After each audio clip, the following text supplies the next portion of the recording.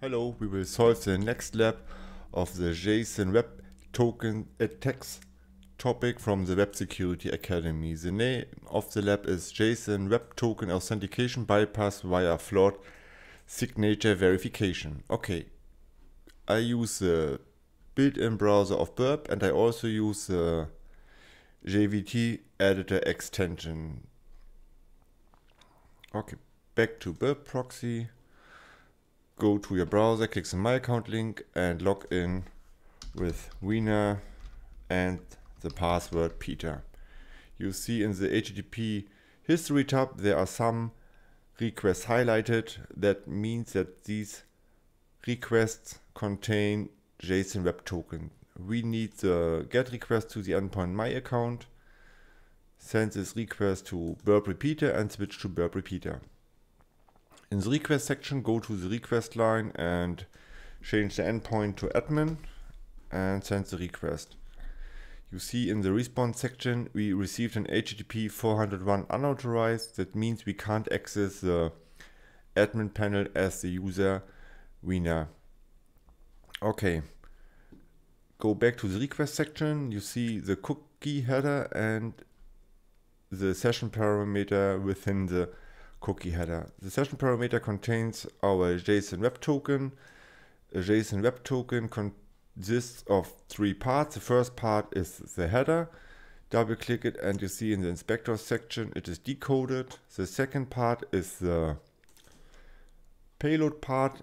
Double click it and you see it is decoded in the inspector section. The last part of a JSON Web Token is a signature, but that doesn't matter in our case. Okay, now we have to change the user. Double click the payload part and go to the inspector section and replace the value of the property sub from Wiener to administrator. Click the apply changes button. Now go to the header part of the JSON Web Token, double click it, and you see it is decoded in the inspector section. The property IKE has to change to known. Apply changes because we don't need an algorithm. Now come now the most important part is to delete the signature of the JSON Web Token.